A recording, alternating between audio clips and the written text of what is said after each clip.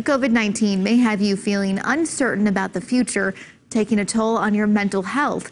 While it can be difficult topic to discuss, one KELOLAND community is working to decrease the social stigma. KELOLAND's Sarah McDonald shows us what they're doing in Wagner. Greg and Danielle Kirchel are ranchers just outside of Wagner.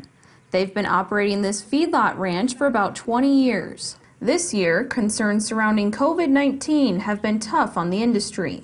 It's very stressful right now to to have a product that uh, you cannot get rid of. That uh, to have that many cattle, two or three pens of cattle, and, and nobody seems to want to buy them right now.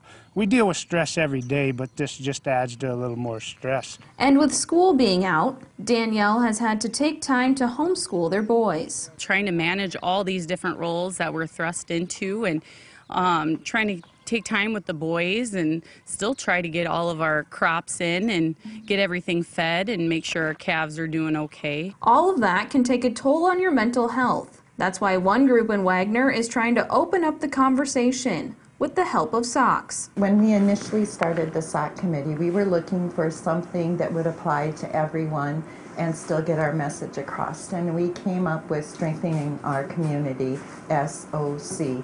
Everybody has socks.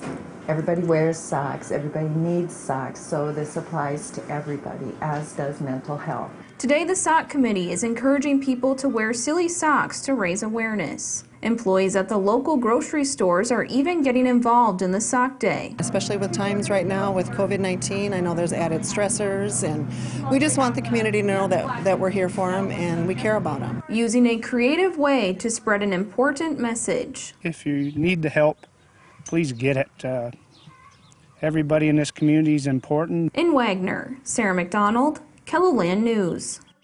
You can pick up the SOC committee socks at the two grocery stores in Wagner.